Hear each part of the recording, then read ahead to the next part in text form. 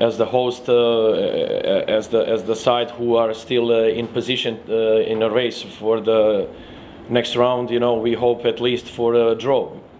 Uh, one point also couldn't be bad result because uh, we'll keep our chances alive, and we have some other matches uh, to to make good results and progress to the second round. So for me nothing is wrong if he if he um, could make it one point. But in order to at least to draw tomorrow, you have to play offensive. You have to play attacking football to keep uh, control of the game. You know, in order to achieve that. You know, if we win, for example, then then we are really in good position. We have a couple injured players. And we will have a time to prepare for uh, a month away for the revenge in, in Myanmar. That for me it will be the crucial match, not tomorrow.